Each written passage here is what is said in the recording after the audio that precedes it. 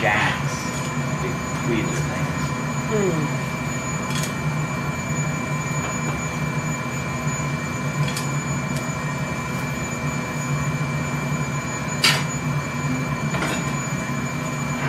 And that's going to be where the neck is, where I'm going to break it off in a while.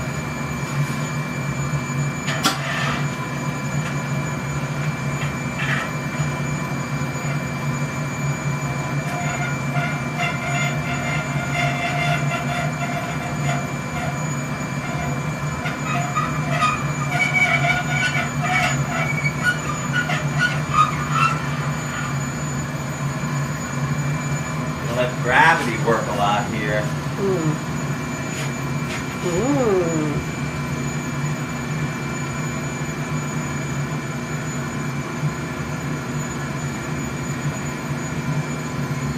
In the neck or neck-ish. It's that's the kind of bottle that I'm looking at. Whoa. Hi, How you doing, Chris? Good. to See ya. Good to see you.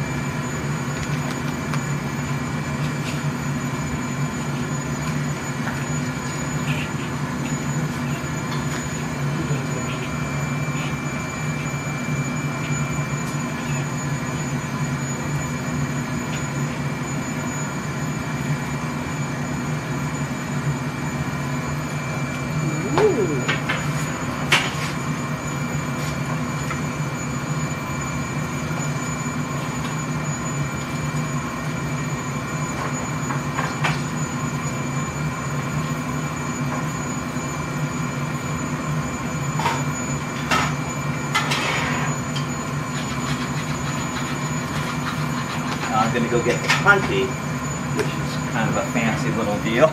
You'll see. It'll answer a lot of questions about how they finish off the bottles. And also, if you've ever dubbed bottles and you've seen a punty mark, this is how the punty mark gets there. Hmm.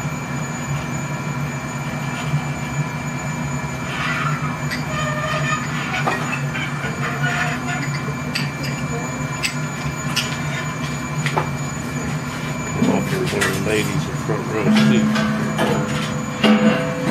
They'd like to sit down.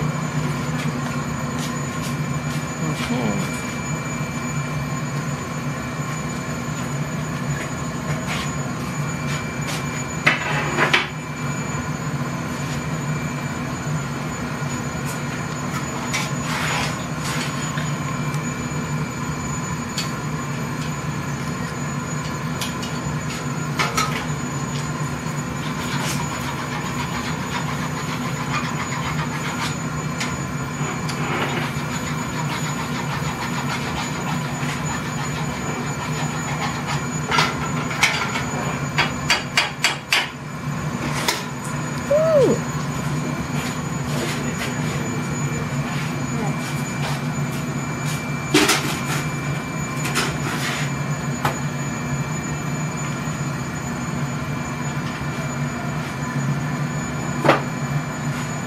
So, in the early 1800s, they started using molds instead of just pre-blown bottles like this. Hmm. But before they used the molds, people like Robert Hewes, who started Temple Glass, and also George Mason, who did a lot with the Bill of Rights and the Constitution. They had seals made up, and they would stick it with a hot piece of glass on a bottle like this, so that people would know whose bottle it was, Hmm. and it would get returned to them. At least that was the idea. Because these were pretty expensive. The, the idea of disposable bottles was not, uh, definitely not uh, what they were thinking of it. But, uh, and in Stoddard, they started with a two two piece mold, sort of like that one that I've done that looks like a, a Saratoga Springs water bottle that Stoddard made in the 1840s and 1850s. But they would only be able to make like 20 bottles an hour, if, and that would be with a shop of three people. And uh, a modern bottle machine will make 10,000 bottles in an hour.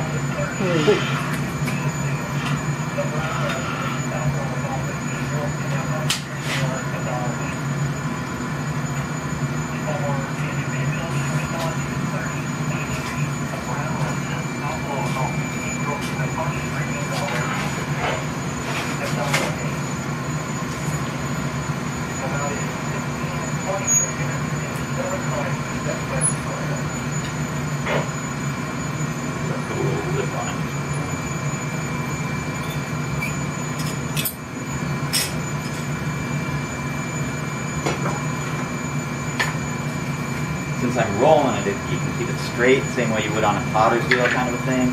Sort of mm. tells you when you're off on.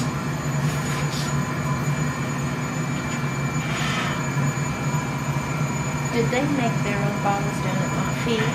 Montpelier? He made used to work for it. Oh, he Because did? they got the dollar in the city. It's got a Tom Jefferson. and all But I mean, did the, did the Montpelier His slaves agent- make bottles down there? No, I'm talking Oh, about Madison oh, no, They didn't. They, did, would they have brought them down from Montpelier? For the wine?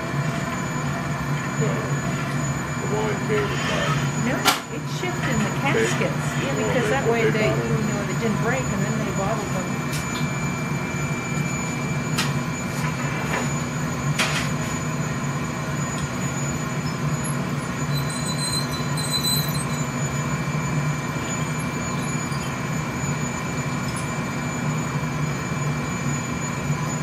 Sometimes they turn out the lip like that. I think it was so they could tie the cork on, because these were these are really simple, functional, you know, quick as they could do it, and I'm doing it a lot slower than, than probably they did it back in the day. But they would also have a production team. They'd have at least, well, probably three people working on a bottle, getting it out. Wow. Each one doing a particular part, knocking it off.